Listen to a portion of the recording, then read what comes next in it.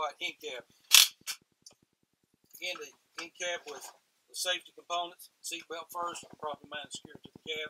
The seat belt itself is, has no cuts or frays. It latches and unlatches properly. It's properly mounted secured to the seat and to the floor. I have a 10 pound BC fire extinguisher properly mounted and secured under the sleeper. I also have three bi-directional triangles properly mounted secured under the sleeper. I have spare fuses and breakers in the glove box for this truck. Now I'm going to begin with a safe start. When I turn the key on, you'll see an ABS light come on and go off. ABS light came on and as went off. When I start the engine, my oil pressure must rise in 3 to 5 seconds. If not, I'll shut the engine down and call a mechanic. The oil pressure is rising now to normal operating range. My driver's side mirror. It is properly mounted and secure. It is not cracked, bent, or broken, and it is adjusted to my view. The windshield, properly mounted and secure. It is not cracked, bent, or broken. There is no illegal stickers, and the weather stripping is intact.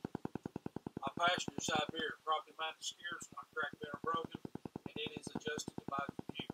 I come back to the steering wheel and just work down into the column. My city horn works. My highway horn works. My left turn signal works. My right turn signal works. My four-way flashers work. My headlights, they work on high and low beam. My windshield wipers, properly mounted secure. All the hardware is present. The windshield wipers work. The washer fluid works.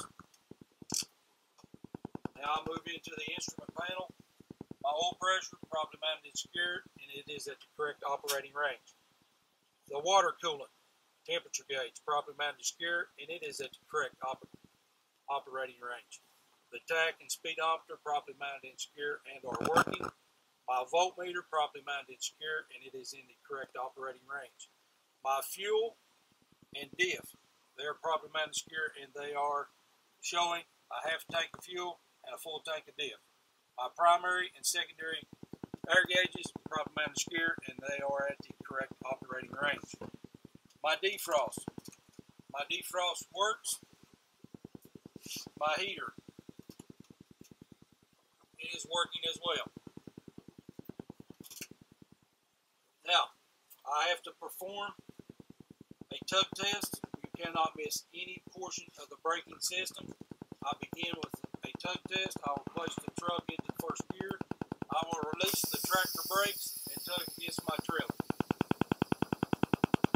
I'll set my tractor brakes back and release the trailer brakes and tug against the tractor. Now I have to do a service brake check. I will pull forward roughly 5 mile an hour and check the service brake. Service brake works truck in neutral, set my brakes. I build my air pressure up to governor kickout, which is between 120 and 140 or manufacturer recommendation. Once it reaches governor kickout, you'll hear the truck sneeze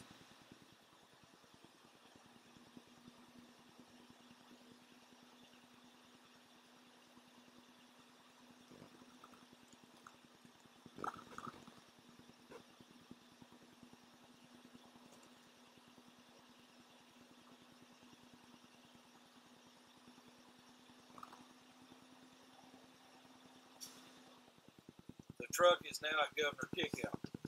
I put the truck in first gear, turn the engine off, release the clutch, release both truck and trailer, and turn the engine back on. Now, I must say, in a combination vehicle, I can lose no more than 4 psi in a minute. I will now put my foot on the brake I will hold the brake pressure for one minute. Okay, it's been a minute. I'll release the brake pressure and I will begin a leak down. I pump the brakes until my truck reaches 60 to 80 or manufacturer recommendation.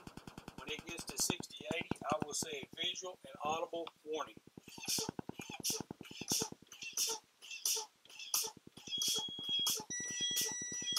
I have a visual and audible warning. Now, between 20 and 40, or manufacturer recommendation, my brake valves will pop out, engaging the spring brakes on the truck and trailer.